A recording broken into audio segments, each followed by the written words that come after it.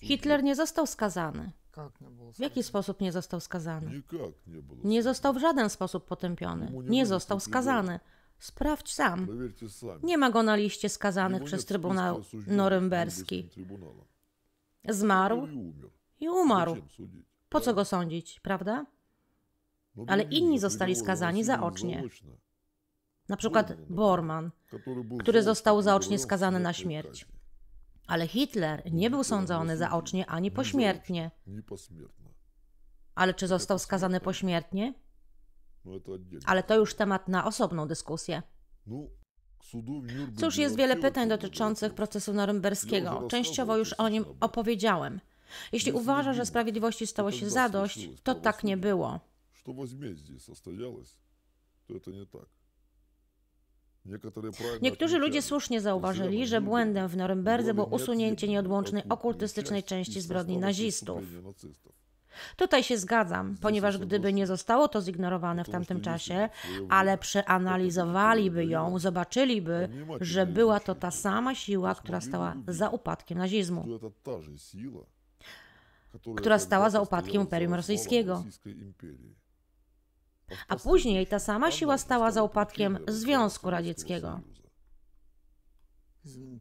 Hitler nie umarł? Przepraszam, złapałem się na wyrażeniu pośmiertnie. Czy sugeruję, że Hitler nie umarł? Cóż, wiele osób wciąż spiera się na ten temat, czy Hitler umarł wtedy, czy nie. Istnieje wersja, że Hitler przeżył, że zamiast niego zginął jego sobowtór, a sam Hitler uciekł, jak wszyscy inni, do Ameryki Łacińskiej. Istniały jednak bezpośrednie dowody na to, że Hitler był w 100% martwy. Zachowały się jego zęby, przeprowadzono badania, które potwierdziły, że to na pewno był on. Więc Hitler naprawdę się wtedy zabił. Dlatego członkowie Zielonego Smoka, którzy go strzegli, przeszli do kontrolowanej reinkarnacji, tak jak Hitler. I żebyście zrozumieli, Stalin był wielkim mistykiem Związku Radzieckiego. Stalin вы jest понимали, wielkim mistykiem Związku Radzieckiego, to wyjaśnia jego pozornie dziwne zachowanie po śmierci Hitlera. I już po tym, jak Żukow doniósł Stalinowi, że Hitler nie żyje, ten chodził i wielokrotnie powtarzał, gdzie jest Hitler. Żukow był tym bardzo zaskoczony, После inni того, как również. Жуков доложил Сталину, что Гитлер умер, он ходил и многократно повторял, где же Гитлер? Жуков это очень удивляло. И других Żebyście тоже zrozumieli, удивляло. Hitler przeszedł kontrolowaną reinkarnację w towarzystwie największego mistyka Zielonego Smoka. Шел на управляемую реинкарнацию, сопровождаемый величайшими мистиками, зеленым драконом. Był strzeżony przez moc, więc nie mógł zagubić się w Поэтому czasie. он не мог затеряться во времени. I żebyście zrozumieli, jest teraz wśród Was. Он сейчас среди вас. Potwierdza to towarzysz Stalin, główny И mistyk это Związku подтверждает Radzieckiego. Товарищ Сталин, главный мистик Советского Союза. Niewiele osób wie, że sta, ale Stalin zorganizował specjalne grupy ludzi, które szukały Hitlera, obliczały kim jest i gdzie jest. Просчитывали, кто он и где он. И Do ostatniego последнего dnia дня swojego своей życia жизни Stalin szukał Hitlera i miał Stalin obsesję na punkcie tej и idei. был одержим этой идеей. A Hitler jest teraz wśród Was z czystym umysłem i czystą И pamięcią. памяти. Świadczy o tym zniknięcie jego kont. Kto mógł je wycofać что oprócz niego? подтверждается исчезновением его счетов.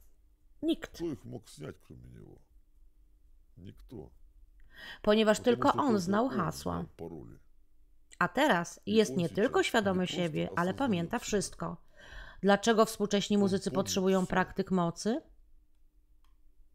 Помните? Pamiętasz, jak mówiłem ci o tym, jak moc jest przekazywana poprzez informacje? Mam w związku z tym interesujące pytanie. Jasne jest, dlaczego opiekunowie przekazali wiedzę o praktykach mocy ludziom takim jak Hitler.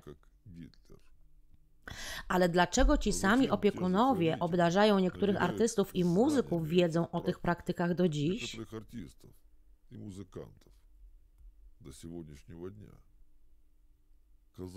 Wydawać by się mogło, że piosenki tych ludzi są puste, nie niosą ze sobą żadnego poważnego znaczenia, ale mają zakładki, słowa klucze, obrazy, które niosą ich piosenki i które potajemnie wchodzą do ludzkich głów. Mają moc i mogą działać po latach. Z czasem ludzie zapominają o zespole, którego słuchali w młodości, a te zakładki dopiero zaczynają się aktywować i wpływać na nich. Te wkładki tylko zaczynają aktywować się i na niego wpływać. Na tej samej zasadzie moc i wiedza wchodzą do kryształu lub diamentu i są tam przechowywane, dopóki ten, kto wie, jak umieścić tam informacje i je zabrać, jak włożyć i wyjąć z niego informacje i je wykorzystać. Na przykład. Na przykład Ci ludzie, którzy w młodości słuchali określonej muzyki i lubili chodzić na koncerty swoich ulubionych zespołów, za 20, 30, 50 lat będą podążać za nowymi Hitlerami wszędzie tam, gdzie strażnicy chcą, aby się udali. Z reguły karty trafiają do młodych ludzi w wieku 15-20 lat, a następnie są realizowane 20 lat później. Dlatego skupiają się głównie na nastolatkach. Czas mija, człowiek już coś osiągnął, stał się kimś, a tu nawet nie rozumie, dlaczego popiera określonych polityków, jak ukształtowały się jego poglądy i skąd wziął, się, wziął te, te czy inne przekonania. Jakoś znikąd pojawia się pragnienie, aspiracja i wiara w kogoś, w того, kogo nie można wierzyć i od Kogo którego wierzyć normalny nельзя. człowiek by uciekł i и na от кого którego by нормальный splunął. человек будет бежать и плеваться. Świat jest więc o wiele bardziej skomplikowany i Гораздо prostszy сложнее и проще jednocześnie. одновременно. A jeśli nie wiesz, Jeśli ty jak nie to znasz, działa, to jak magia ustrój, będzie dla ciebie istnieć, Тогда для albo тебя nic будет nie będzie существовать istnieć. и магия. Или ничего не будет существовать. Albo będzie istnieć tylko to, co możesz trzymać w rękach, nie zdając sobie sprawy, że nawet nie kontrolujesz swoich rąk. Musisz zdać sobie sprawę, że ten krąg wtajemniczonych, wewnętrzny krąg Hitlera, żaden z nich nie umarł. Wciąż tu są, ale zbliżają się do końca.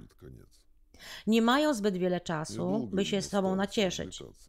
развлекаться. Jak myślisz, думаешь, dlaczego świat ostatnio tak Почему oszalał? мир так чокнулся в последнее I время? dlaczego jest to zbieg I okoliczności, почему tak że совпало? zaczęło się to w latach 60., kiedy istniał ten niekonwencjonalny ruch młodzieżowy, nastąpiły przemiany w muzyce, filmie, neonazizmie. Произошли некие трансформации в музыке, кинематографе, когда начал активно развиваться неонацизм.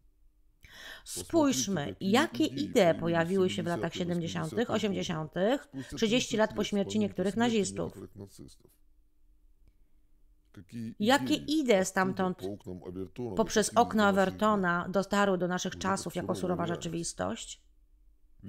W końcu to właśnie w latach 70. pojawiła się koncepcja złotego miliarda. Jak myślisz, dlaczego tak się stało? Dlaczego to taki zbieg okoliczności, że to właśnie w latach 70. i 80. konta nazistów zostały nagle spieniężone i od tego momentu świat zaczął coraz bardziej tracić rozum? i больше начала съезжать крыша. Думайте. Pomyślcie, jesteście mądrymi ludźmi, przynajmniej za takich się Считайте uważacie. себя таковыми. Policzcie więc, ile to jest 1 plus 1 i czym tak naprawdę jest nazizm. И что такое на самом деле нацизм? Świat jest teraz szalony. Сейчас мир сошел с ума. Ostatni raz takie szaleństwo miało miejsce w Sodomie i Gomorze. A dziś ludzie stoją w obliczu nowego poziomu szaleństwa, zmuszani do jedzenia owadów, zatruwani chemikaliami, kanibalizm, legalizacja pedofilii, edukacja seksualna dla małych dzieci. Проталкивают каннибализм, легализацию педофилии,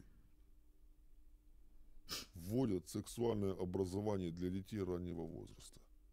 То есть они уже Tak więc już biorą замахнулись zamach na детей, dzieci, źródło. на источник. И знаете, что I я wiesz, вам co хочу chcę ci сказать? powiedzieć na ten temat?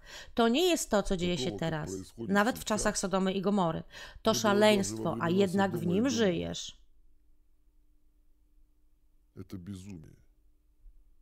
И тем не менее, вы в этом живете.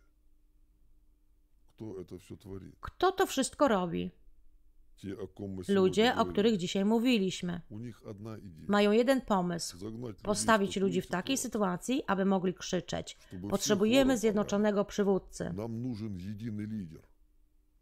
Nawet nie widzisz tego, Wy co даже nie już widzicie dzieje się za того, oknem. что что уже Tornada происходит niszczą у вас miasta, за окном. wulkany wybuchają każdego dnia, słupy światła pojawiają się wzdłuż linii energetycznych. Вулканы извергаются каждый день.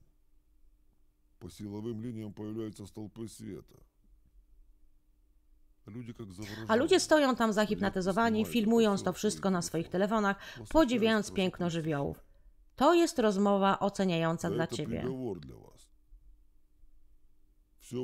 Wszystko się rozpada, gospodarka się rozpada, świat się rozpada, ziemia usuwa się spod Земля nóg, из-под nóg a ty уходит. jesteś zahipnotyzowany i nie chcesz tego widzieć. Этого в упор не хотите видеть. Równie dobrze można ci jutro zaproponować nowego Hitlera jako jednego światowego przywódcę, a ty Вы pójdziesz видите za nim. мирового лидера, и вы за ним Poprosisz o to, ponieważ jesteś już tak przetworzony ze wszystkich stron, że nie ma пойдете, dokąd потому что вы pójść. уже настолько со всех сторон обработаны, что дальше некуда.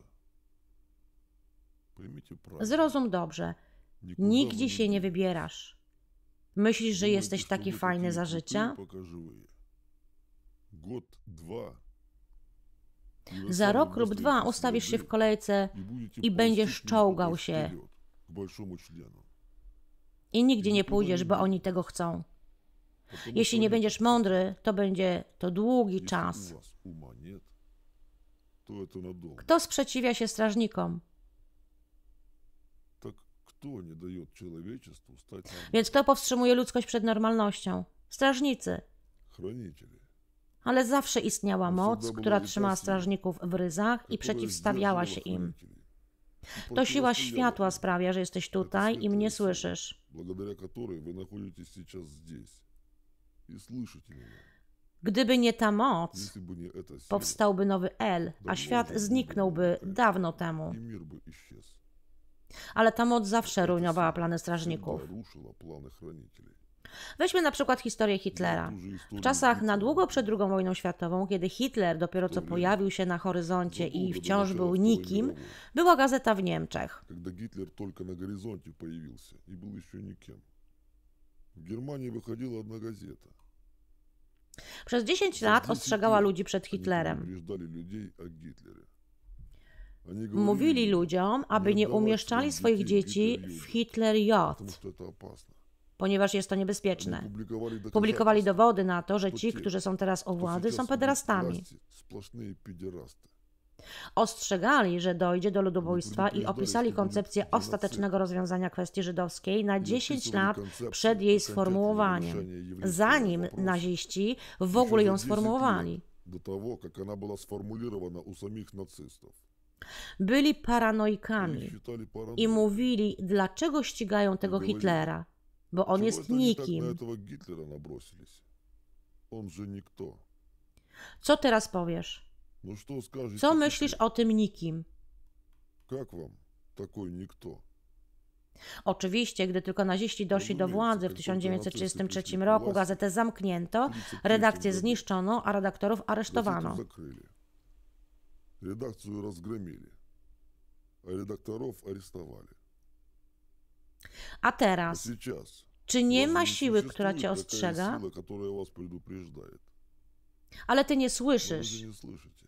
Смеетесь. nie ś- śmiejesz się i nie walczysz z tymi, którzy mówią prawdę, tylko że później będziecie płakać. Вот только потом будете плакать. Такие персонажи E, Takie postaci w historii jak Hitler są Albo projektami Hitler. strażników? Postacie takie, jakie są próbą stworzenia nowego Ala? Ela? Czy jest to próba wyhodowania nowego Ala? To przygotowanie sceny. Opracowują plan, tworzą siły i konfrontacje, aby przejąć władzę nad światem. Ale bez względu na to, jak bardzo się starają, pojawiają się antagoniści, którzy łamią wszystkie ich plany.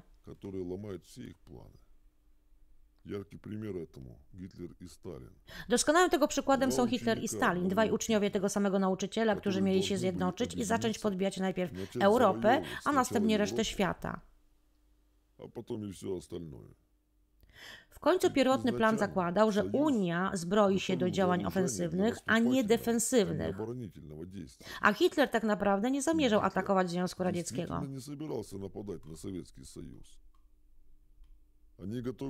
Przygotowywali się do wspólnego przejęcia władzy nad światem. Ani Ameryka, ani Anglia, nikt nie mógł im się przeciwstawić. Nikt nie był wystarczająco silny, by przeciwstawić się jednocześnie Związkowi Radzieckiemu i nazistowskim Niemcom. Musieli połączyć siły i stworzyć warunki do powstania Ala. Tego właśnie chcieli strażnicy, ale coś stanęło na przeszkodzie. но что-то помешало. Interweniowała Musiała siła siła, znacznie większa niż która strażnicy garażda dłuższa i sprawy stała. nie potoczyły się zgodnie z ich Все planem. пошло не по их плану. Stalin Stalin nagle резко poszedł w poszedł w drugą drugą stronę, stronę. ktoś go zmusił. Кто-то вынудил его. Ostatecznie Stalin Nie to nie nie zrobił Stalin tego, nie co сделал powinien, tego, a co Hitler должен. zrobił to, czego nie А powinien. Гитлер сделал то, чего не должен был. Hitler został zmuszony do zaatakowania Unii, a Stalin do ostatniej chwili nie wierzył. Byli przyjaciółmi, uczniami tego samego nauczyciela.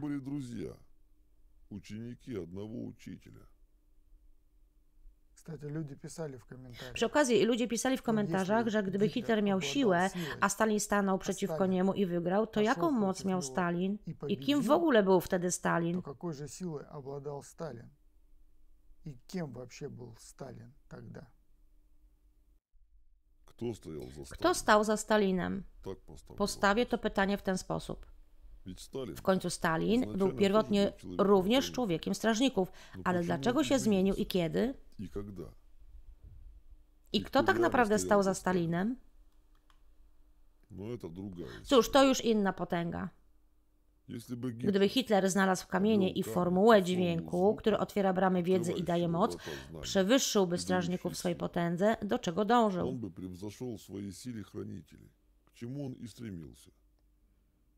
To była jego decyzja, która położyła kres jego istnieniu. Gdyby tam nie poszedł, wszystko poszłoby zgodnie z planem. Ale ponieważ udał się tam, gdzie nie musiał, strażnicy zmusili go do zaatakowania sojuszu. To jest odpowiedź na pytanie, dlaczego zaatakował.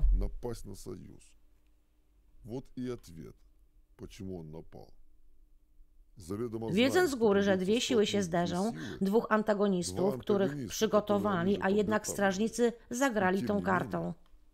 Chronitele rozegrali tę kartę. Dali Oni Hitlerowi dali moc i Hitlerowi siłę, moc i ale w siłę. opozycji do niego przygotowali przeciwieństwie. inną, równie Podgotowali potężną drugiej. siłę. Равно Najpierw по chcieli ich сути. zjednoczyć i wykorzystać, by przejąć władzę Działanie nad takie światem, by mechanizmy strażnicy nimi использовать kierowali для i to захвата by się всего мира, udało. Чтобы хранители возглавили его. И это бы сработало. Но Гитлер захотел Ale власти. Hitler chciał władzy No to i już to się ich dzieje. osłabiło. Этот шаромыга, которого они подобрали, хотел их Ten, обыграть.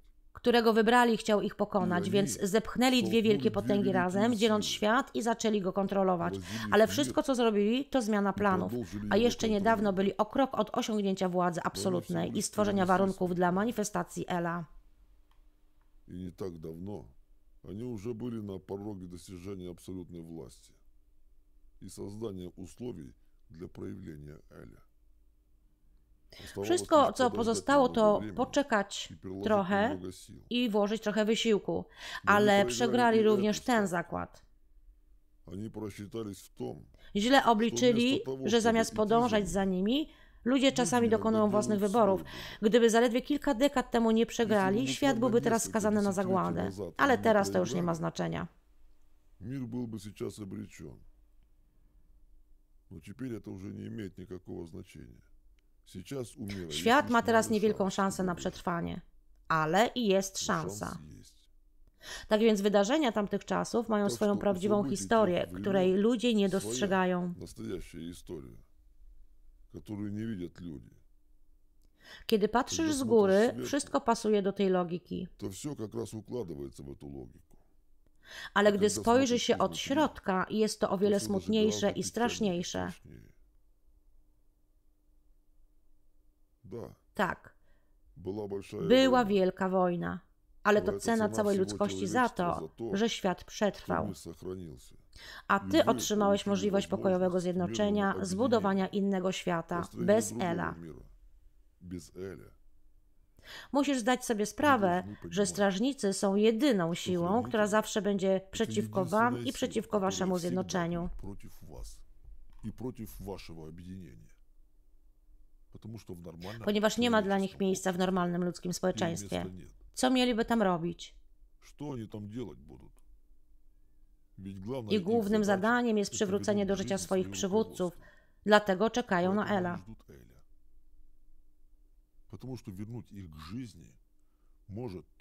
Ponieważ tylko El może przywrócić ich do życia, to dlatego włożyli tyle wysiłku w uczynienie świata takim, jakim jest.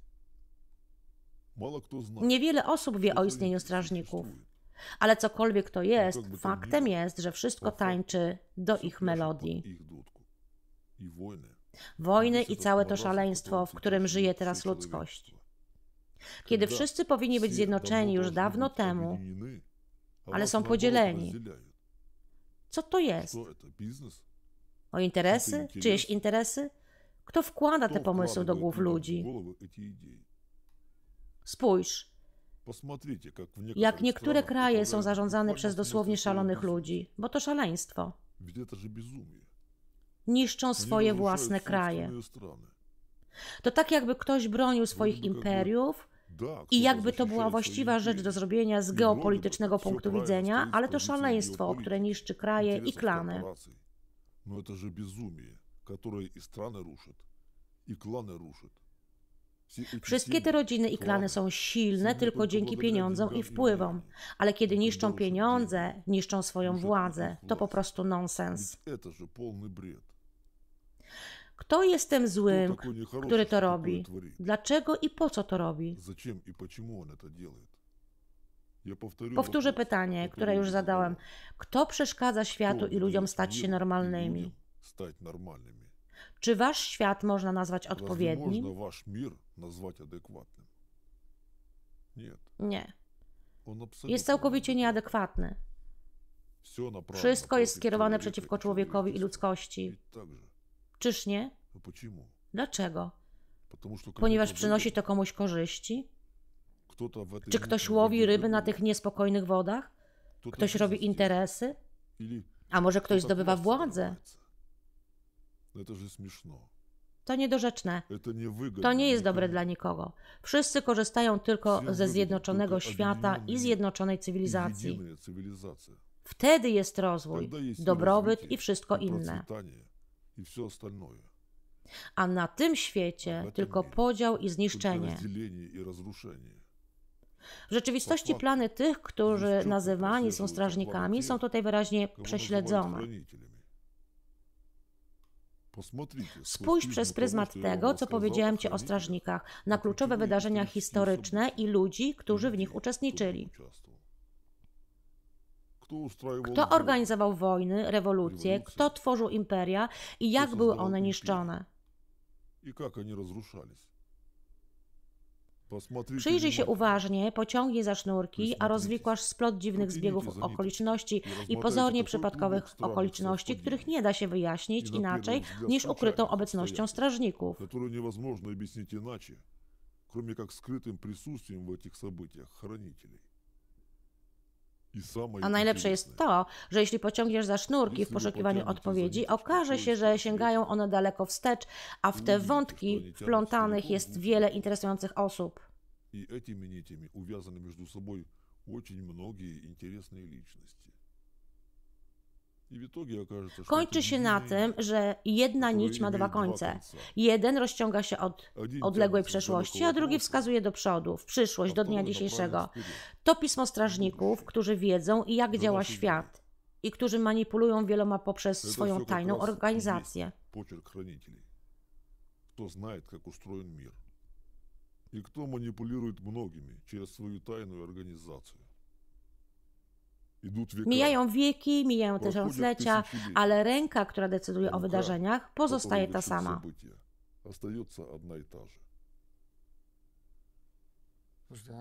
Spójrz, tak ciężko pracują, aby odzyskać Ela.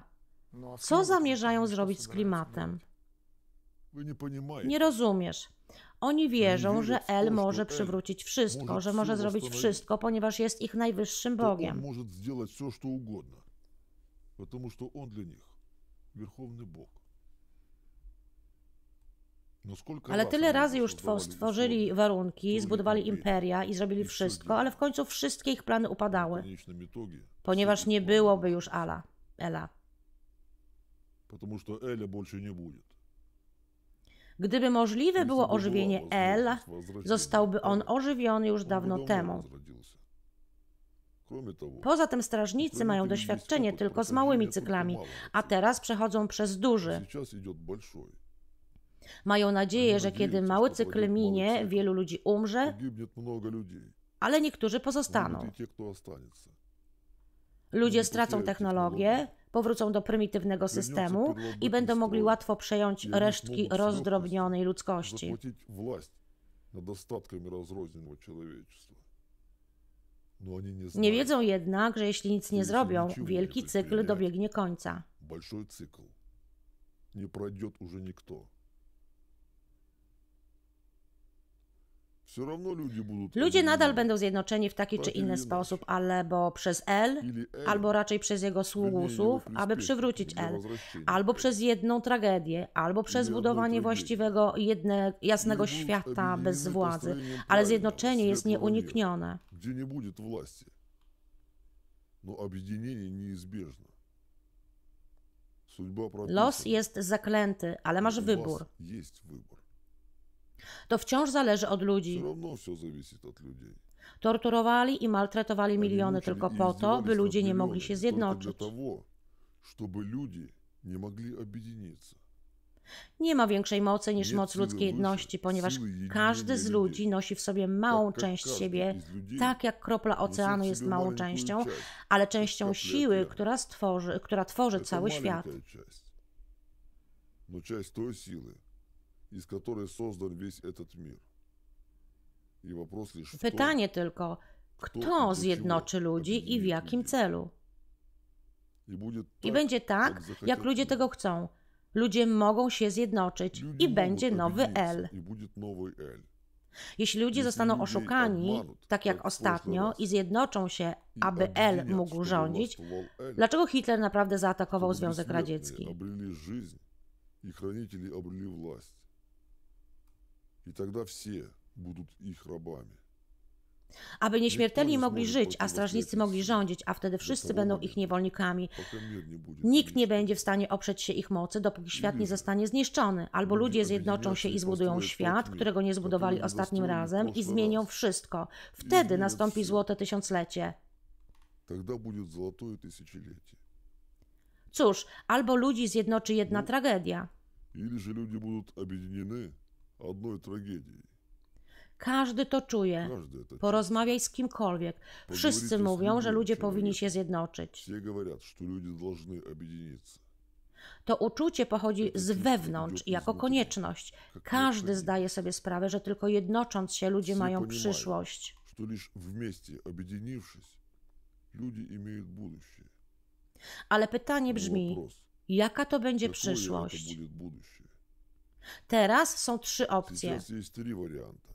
Ludzie Люди mogą могут zjednoczyć się w mocy объединиться в światła, силе света, albo moc ciemności może Ili was siła zjednoczyć, tmy albo objednić. wszyscy możecie się zjednoczyć, zostać Ili zniszczeni i znaleźć puste. объединитесь, чтобы быть уничтоженными и обрести пустоту. Zbliżamy się do szczytu, w którym podchodzimy cała szczytu, nasza moc musi się Когда zjednoczyć. вся наша сила должна слиться воедино. Jedynym pytaniem jest to, gdzie zostanie ona skierowana i w jaki sposób.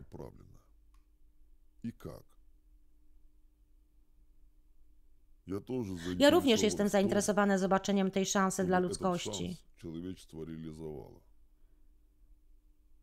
Dlatego przybyłem tutaj, aby uzupełnić to, co zostało powiedziane.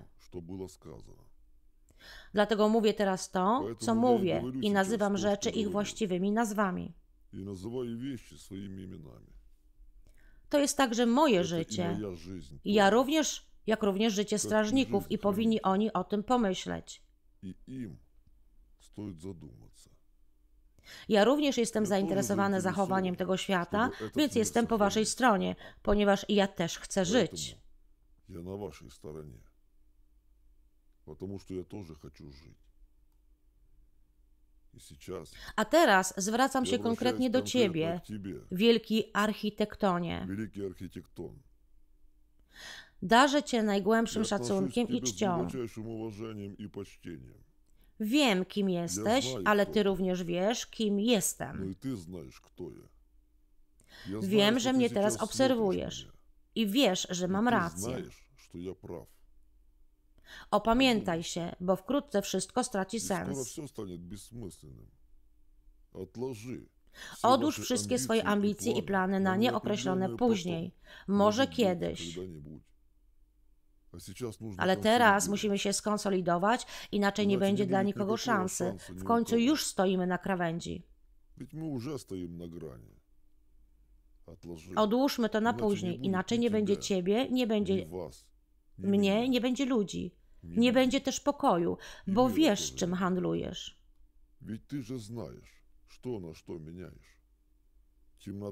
Ciemność pochłonie nas wszystkich, a to nie ma sensu. Powiedziano ci, że twój L zniknie. A ten, który ci to powiedział, spełni to.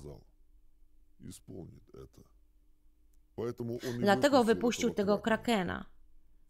I wiesz, co się stanie z, tymi, z nami wszystkimi. Zostaniemy zmieceni z powierzchni Ziemi i nie ma tu żadnej szansy. Jest tylko jedna wspólna szansa.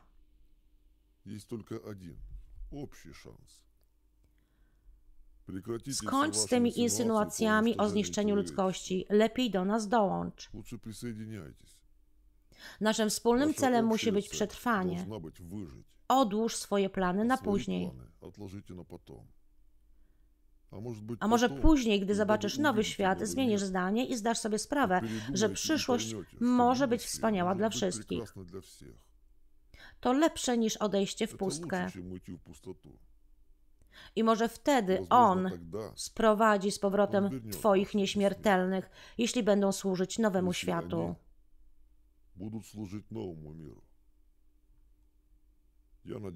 Mam nadzieję, że dziś pozostałem wysłuchany. Koniec części czwartej, ostatniej. Czytała Trinity.